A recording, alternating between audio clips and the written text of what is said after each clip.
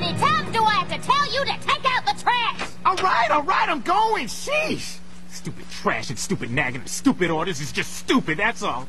You're not the boss of me! What did you say? Nothing.